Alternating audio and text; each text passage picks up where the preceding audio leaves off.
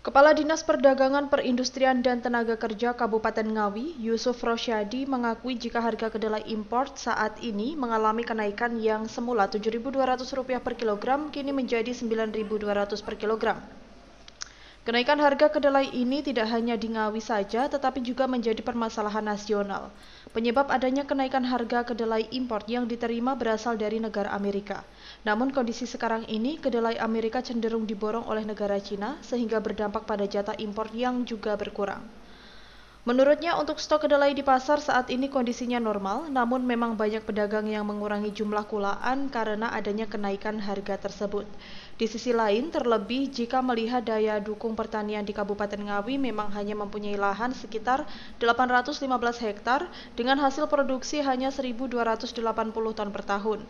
Padahal jika dilihat, kebutuhan 4 sentra di Kabupaten Ngawi mencapai sekitar 8.500 ton per tahun. Sehingga pihaknya akan melakukan koordinasi kepada Dinas Pertanian untuk mengantisipasi jangka panjang ke depan yang seharusnya kebutuhan dari Kabupaten Ngawi ditutup dari Ngawi. Karena sangat jauh, jika untuk kebutuhan di empat sentra tersebut sekitar 8.500 ton, hanya bisa mencukupi 1.280 ton. Nah, memang betul pada saat sekarang ini eh, harga kedelai import itu sedang naik. Hmm. Harga normal itu biasanya sekitar Eh, tujuh ribu dua ratus sekarang ini di pasaran sekitar sembilan ribu dua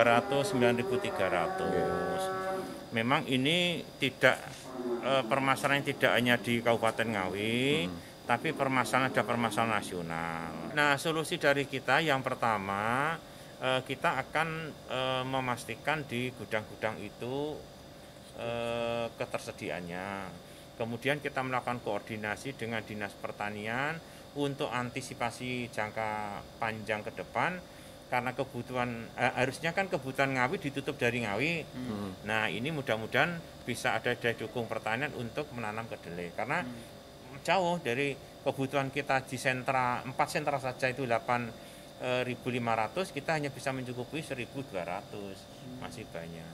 Kemudian yang ketiga kita e, menawarkan kepada teman-teman pengrajin tempe e, untuk melakukan pembelian di PT FKS Surabaya. Hmm. Di sana itu ada nilai itu e, per kilonya 8.600, 8.700. Taruhlah kalau misalnya satu kendaraan itu e, 8 ton sehingga ongkos angkutnya ngambilnya 100 berarti kan 8.600 atau 700 menjadi 8.800. Nah kalau di sini nilainya itu 9,2 kan ada selisih sekitar berapa ya 300 sampai 400. Hmm. Nah 300 400 itu memang biasanya diambil oleh teman-teman hmm. Topti maupun pedagang-pedagang lain.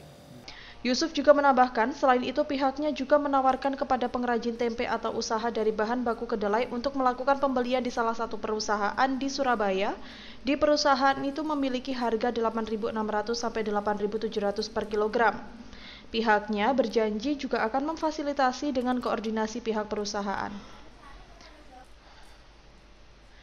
Dari Ngawi, Adi Susilo, Garda TV.